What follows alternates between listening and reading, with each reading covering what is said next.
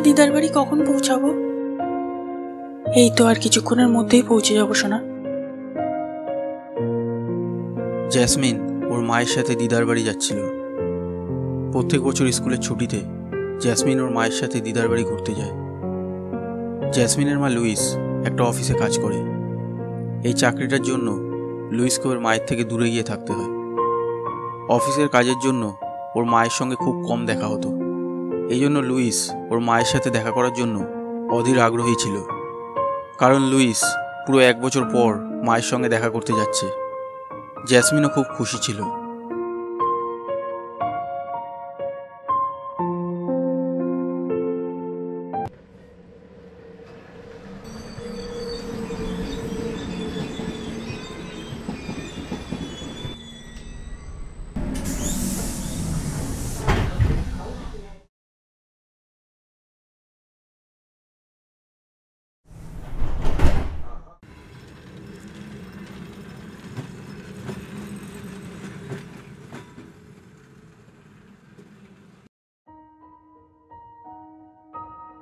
taxi.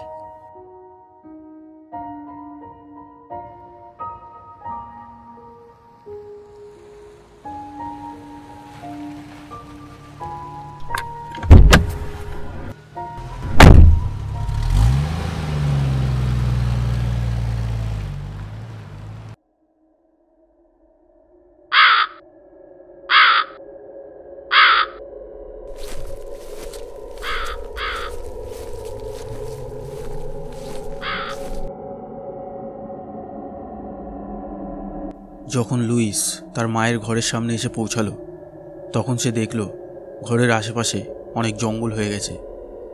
বড় বড় গাছপালা আর ঘাসে বাড়ির চারপাশটা পুরো ভরে গেছে। এমন মনে হচ্ছিল যেন অনেক দিন ধরে এখানে কেউ যাওয়া আসা করে না। এটা দেখে লুইস খুব অবাক হলো। কারণ যখন লুইস আগের বছর এখানে এসেছিল, তখন এই জায়গার অবস্থা এমন ছিল না।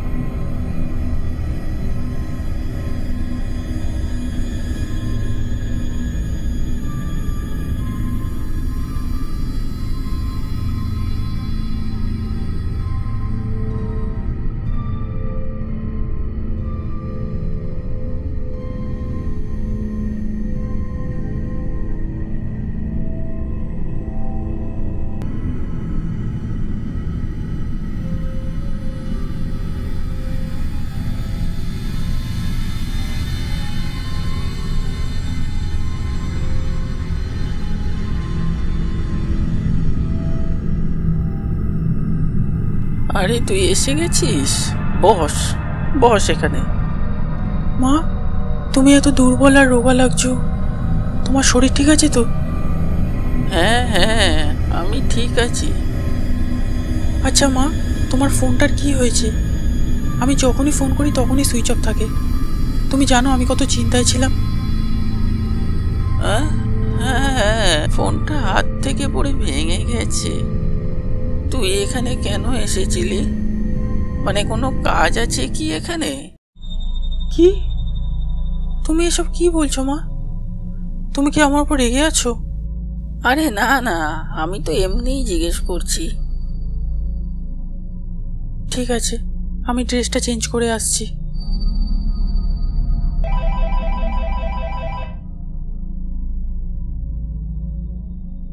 অফিস থেকে ফোন? হ্যাঁ স্যার বলুন। Hello Louis. শোনো কাল সকালে একটা খুব ইম্পর্টেন্ট মিটিং আছে তাই কাল সকালে তোমাকে অফিসে আসতেই হবে। কিন্তু স্যার আমি তো কিছুদিনের জন্য ছুটি নিয়েছিলাম। হ্যাঁ জানি আমার মনে আছে। কিন্তু এই মিটিংটা খুবই গুরুত্বপূর্ণ। তুমি প্লিজ কাল সময় মতন অফিসে চলে এসো। শিট। মা অফিস থেকে ফোন এসেছিল। আমাকে আজই চলে যেতে হবে।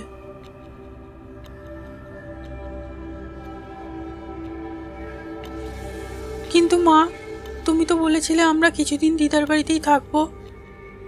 হ্যাঁ আমি বলেছিলাম। কিন্তু কাল আমাকে অফিসে যেতেই হবে শোনা না, মা, আমি কিছুদিন এখানে থাকতে চাই। ঠিক আছে, তুমি এখানেই থাকো। আমি দুদিন পরে এসে তোমাকে নিয়ে যাব। মা, আমি এখনই বেরিয়ে পড়ি। বেশি দেরি হলে আর ট্রেন পাবো না। তুমি নিজের আর জ্যাসমিনের খেয়াল রেখো।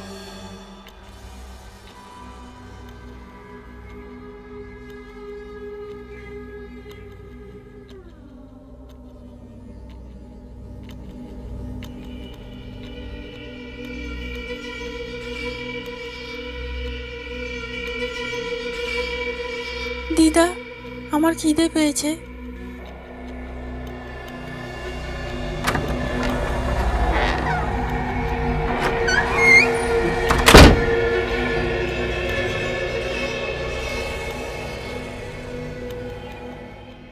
জ্যাসমিনের খুব অদ্ভুত লাগল যে দিদা যখন ঘরের ভেতরে গেল, তখন ঘরের দরজাটা নিজে থেকেই খুলে গেল। আর এটাও অদ্ভুত লাগল যে জ্যাসমিনের দিদা ওর সাথে ভালোভাবে কথা বলছিল না। জ্যাসমিন ভাবলো যে ওর দিদা হয়তো কোনো কাজ করতে গেছে।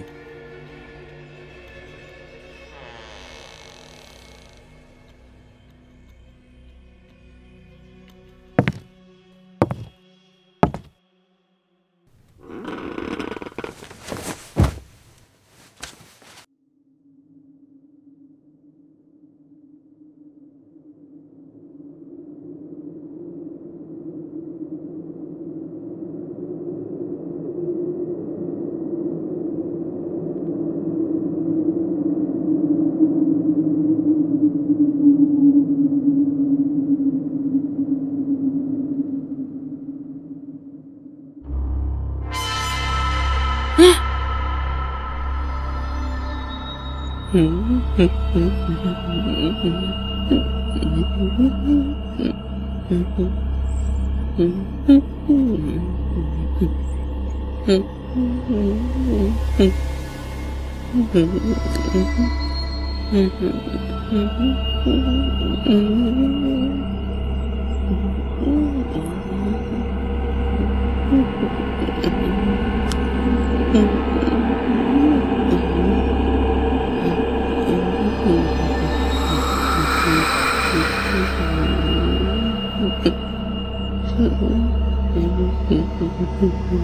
জ্যাসমিন বুঝতে পারছিল না যে ওর দিদা এরকম ব্যবহার কেন করছে। কিন্তু জ্যাসমিন এটা জানতো না যে যাকে ও নিজের দিদা ভাবছে, সেটা ওর দিদা নয়, অন্য কেউ।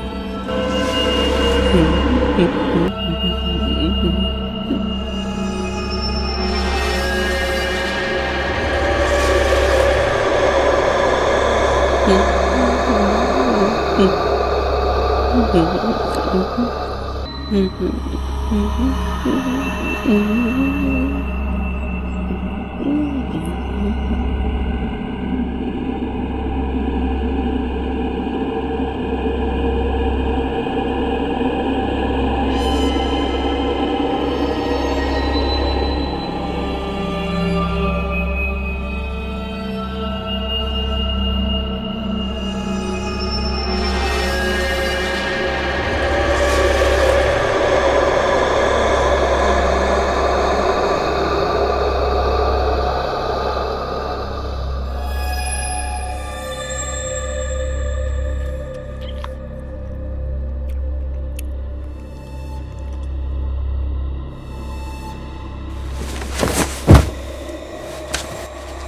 ওই পোড়া মাংসটা একটুখানি খাওয়ার পরেই জ্যাসমিনের ঘুম পেয়ে যায়।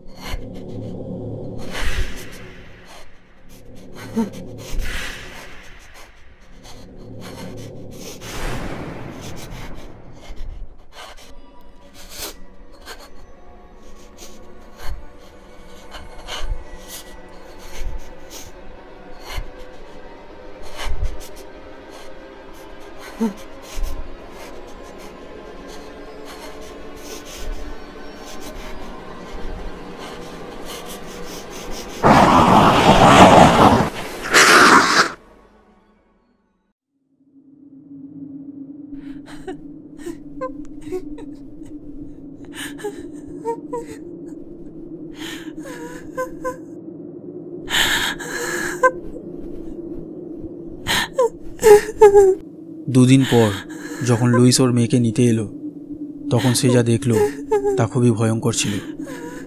জ্যাসমিন আর বেঁচে ছিল না। অনেক খোঁজার পরও লুইসের মায়ের আর কোনো খোঁজ পাওয়া যায়নি।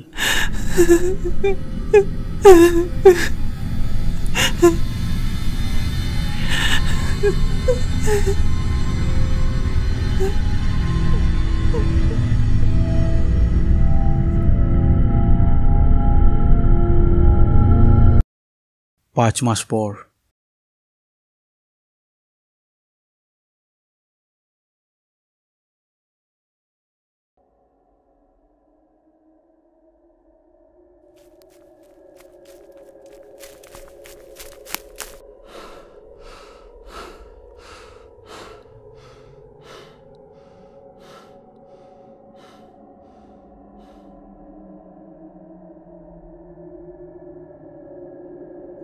এই ঘরে লুকিয়ে যাই। পুলিশ আমাকে খুঁজেও পাবে না।